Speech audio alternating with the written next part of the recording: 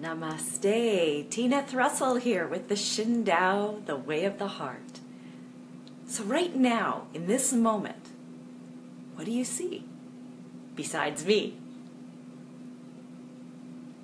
What do you hear? I hear my tap dripping. I hear the sound of the furnace running. I hear the hum of something mechanical. And what do you smell in this moment? What do you feel?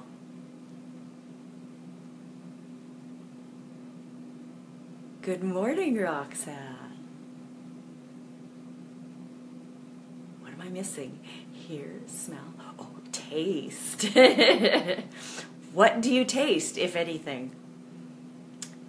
I taste fresh breath from the wonderful toothpaste I was just using. This is one of the keys to being mindful. Really pay attention to your senses.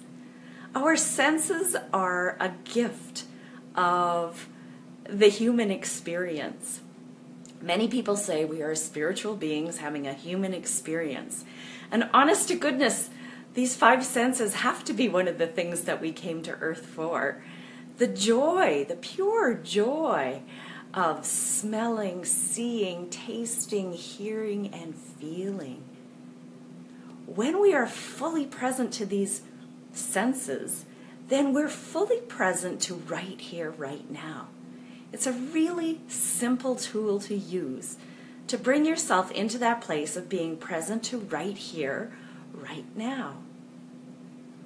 What's the big deal about being right here, right now? Well, right here, right now, is the only place that you can truly feel joy. Joy is that wonderful feeling that bubbles up from inside and just makes you feel that everything is right in the world.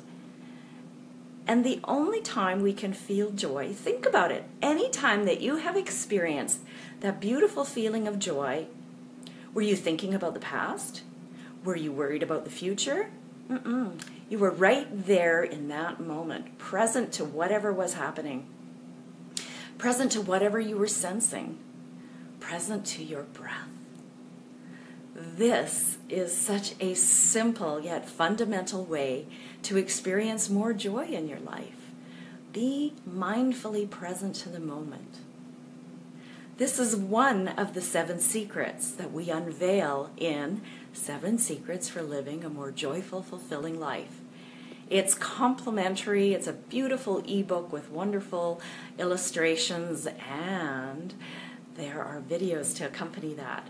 So, we invite you to investigate that further over the holiday season, especially when it's tempting to really go, go, go. Let's remember that the reason for this season is to be present to the people that are in our lives that we love, to be present to our connection with that higher source.